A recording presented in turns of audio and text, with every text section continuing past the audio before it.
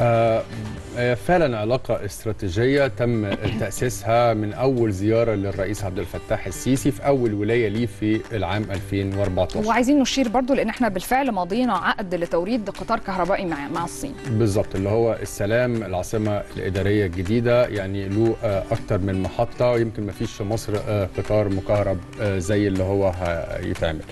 والحقيقة هي فعلا شراكة استراتيجية بس إيه هو مفهوم الشراكة الاستراتيجية؟ ممكن يكون في اتفاقيات تعاون مشترك ما بيننا وما بين أي دولة ولكن أن ترتقي لمفهوم الشراكة الاستراتيجية بمعنى أنها بتشمل كافة الجوانب.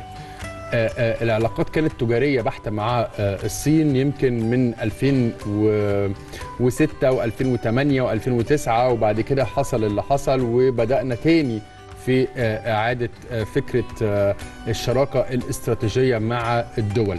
لاحظناها طبعا كانت مع الولايات المتحدة الأمريكية لعقود وبعد كده مع الجانب الروسي وبعد كده مع الجانب الصيني. لما أجي أشوف أنا بشوف مش عايز بس أفكر في زيارة الصين عايز أشوف اتجاهات الرئيس هي بتفكر إزاي. الرئيس بيتجه نحو الشراكة الشاملة بمفهومها المطلق. يعني ممكن يوما من الأيام ألاقي اتفاقية غير القطار المكهرب اتفاقية تعاون عسكري. ما ننساش ابدا إنه كان في آه، مثلا آه، آه، مسابقة لقوات الدفاع الجوي اللي هو قوات الدفاع الجوي المصرية خدت رقم واحد فيها اللي هي كانت بتسمى ال Clear Sky كانت في الصين برضو من شهر. والحقيقة الجيش المصري أو قوات الدفاع الجوي أبهرت الجيش الصيني فبالتالي ممكن يكون في اتفاقية أيضا عسكرية. هذا هو مفهوم الاتفاقية الاستراتيجية الشاملة. زيارة الرئيس ودلالاتها هي زيارة يمكن اللقاء الخامس اللي بيجمع ما بين الرئيس عبد الفتاح السيسي والرئيس الصيني تشي جين بينج. ولكن آآ آآ ليها مدلول أنا بالنسبة لي.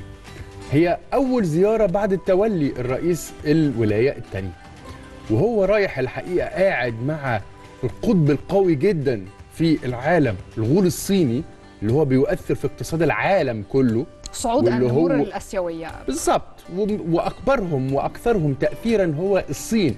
خدي بالك يا مها الصين دولة مش عظمى. هي دولة عظمى حقيقة. يعني لما نيجي نشوف تأثيراتها ولكن هي بتعترف تقول لك أنا دولة كبرى.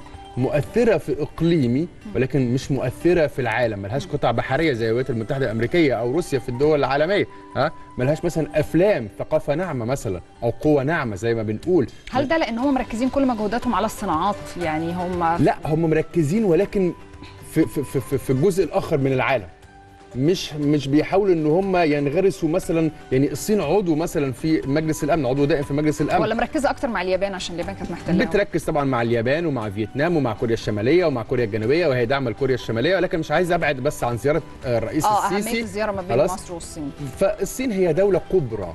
هي بتقول عن نفسها إنها دولة كبرى حزب واحد حزب شيوعي رئيس بي بي- بيحكم لمدى الحياة لكن هو مؤثر. يعني شوف مثلا قوة الاقتصاد الصيني لما بتثق في قدرة الاقتصاد أو في رؤية الرئيس عبد الفتاح قضيت على الإرهاب المؤسسات الدولية بتشهد بنمو الاقتصاد بتاعي يا غول يا صيني يا مؤثر في العالم كله حجم التبادل التجاري ما بيننا وما بين الصين.